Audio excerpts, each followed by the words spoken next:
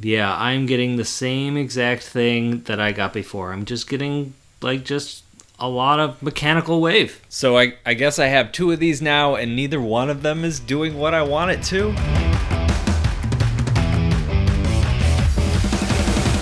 XP Pen sent me this box all the way from China. Fragile. Inside it is the new Artist Pro 16. Now, when XP Pen did reach out to me a few weeks ago and said, Do you want to review our new 16 inch tablet? I was like, Yes, absolutely, I do, because they had just announced that they have a multi touch display, which is very rare on drawing tablets, especially like a really budget friendly drawing tablet. Unfortunately, once I opened this up, I realized this is not that product. They're releasing two products, so this is the non-touch version, and this one looks a lot like last year's XP Pen Innovator 16. That's a good thing. That was a really well-designed tablet. If you want to check out that older review or just do some research into the drawing tech, I do rank my favorites over on my website. So inside the astronaut box itself, we have the tablet. Taking bags off things is not my superpower. It's got this nice plastic film on it that you can peel off once you open it up. That keeps it from getting scratched in transit. All right, this was pretty cool. This is the pen case. You uh, tap to click it open. Let's see if I can open this one-handed. If I slide it out, there we go. You can see the pen. If I get it a little bit more open there, you see there's some extra nibs in there. It's really nice. It's really well built the way it slides in here and just like snaps shut when you're done. I, I'm digging this case. You're also gonna find everything you need to hook this up. There is the USB HDMI connectors. This is a three-in-one cable. You also have like a USB extender cable, and this is a power adapter, and there are also some uh, other power adapters for other countries included in the box as well. The thing that's not in the box that I was expecting to find in the box was some kind of stand to place this on. Uh, there's no feet, there's no way to really prop it up. So you are going to have to invest in some kind of stand, whether it's from XP Pen or just something you grab off of Amazon. All right, now that we have this thing unboxed, let's set it up. I'm setting this thing up. Let's go over some of these specs. First of all, we've got a 15.4 inch screen. It's full HD, that's 1920 by 1080, and it's a 99% Adobe RGB color gamut. Is it fully laminated? Yes, that means there's no gap between the glass and the screen below it, which is a very nice thing to have for illustration and drawing. Contrast ratio is standard, about 1000 to 1. Viewing angles, I find that they're just okay, 178 degrees. And this is their new X3 Elite Plus stylus. It has 8,192 levels of pressure sensitivity and 60 degrees of tilt and a 200 RPS report rate. XP Pen did send me some bullet points on their new X3 stylus. It has what they call the X3 Smart Chip. XP Pen sent me a bunch of bullet points about this new X3 Smart Chip that they're putting in this stylus. It looks like the main benefit of this new pen is an improved initial activation rate. That means you don't have to apply as much pressure in order to get a line.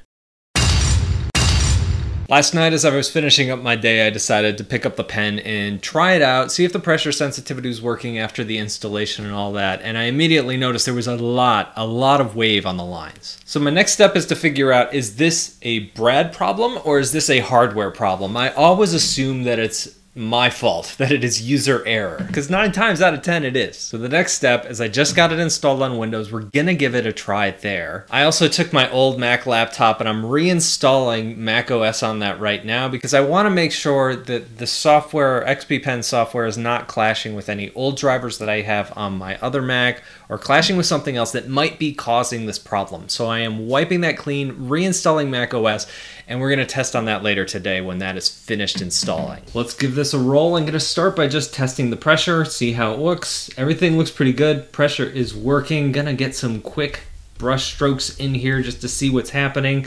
We get a little bit of uh, shoestringing, but nothing too terrible here. The big test are those lines. So we have our own layer, so let's go ahead and just draw some slow diagonal lines at different speeds to see what's happening, and I am seeing a lot of mechanical wave on this too. That's not good. Just to make sure that it's not my hand that's wobbling and that we're picking it up from the pen, I'm gonna use this straight edge and we'll go ahead and draw that line out. And yes, we're seeing something very similar. I'm seeing a lot of indents to the lines when they're on an angle. All right, so the next step is to figure out what are our options. It looks like it's happening on the hardware side just to do my due diligence, I'm going to wait for that Mac to finish like reinstalling. Then I'm going to test it on there. just to make sure it's not happening on my side. Then I'm going to contact XP Pen and see what they have to say. This is a pre production unit. Uh, they sent it to me uh, before they started selling these things, and they said if you have any problems, contact us, which I often do if I'm getting something from the manufacturer. Sometimes there's beta software that they're working on that's going to be going out to customers as this thing launches, or there might even be a firmware update that's going to fix all this that is installed on the later things that was not installed on my particular unit. So we're going to find that out. But what that probably means for this review is I'm going to put it on pause for a few days or even a few weeks, work on some other stuff, and talk to you later.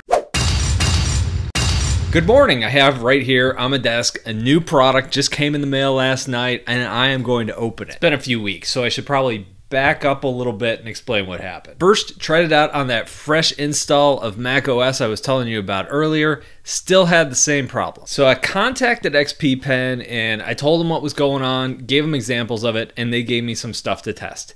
In the meantime, I decided to to take an extra step. What I want to figure out and all of these reviews is what is the experience the customer is going to have with the product. The original product was an early release product. I wanted to actually use the product that is coming off the shelf. So I went to their website and I bought this tablet and had it shipped to me. I actually bought two tablets. Remember that touch based tablet that I mentioned at the beginning of the review? That's going to be a totally separate review, but I picked that up too.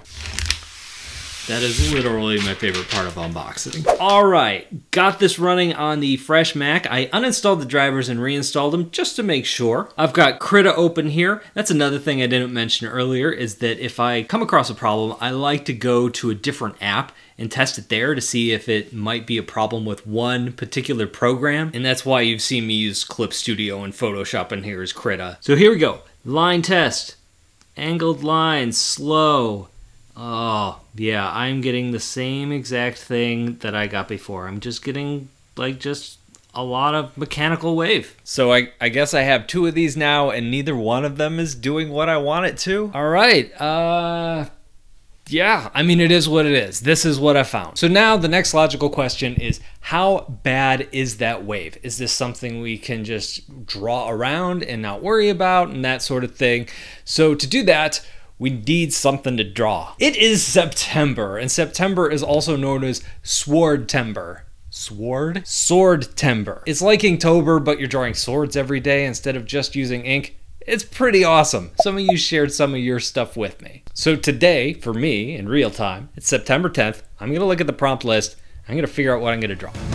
I'm going to be using Faith Schaffer's prompt list. And the word for September 10th is banished. I didn't really know where I was going with this when I started drawing. I don't think it turned out the way I originally envisioned it, but I, am pretty happy. I was thinking about when humans lived in tribes, and if you did something really horrible, your punishment was banishment. They'd kick you out of the tribe. And back then, you didn't live very long without the help of other people. So my thinking was, hey, let's use some old material, wood, as opposed to some kind of metal. So think of this as more of a clubbing sword than a slicey slicey stab stab sword. The twigs intertwined in the middle started as a way to show separation from the group, but because there's two twigs and they're kind of twisting around each other, it doesn't really make sense, but oh well. I like drawing it. And I did toggle on and off line smoothing as I was drawing this, so the wave that I was talking about before, it wasn't terrible. I didn't really notice it as much, but I wasn't drawing a lot of ink lines. I was drawing more shapes. And a lot of those shapes were organic. So for this project, that's good news. Where this does show up more is if you're trying to draw straight lines. And the faster that you draw, the less wave you're gonna see. I also tried out that initial activation rate while I was drawing, and it's, it's pretty good. If you're a light sketcher, you're gonna really appreciate that.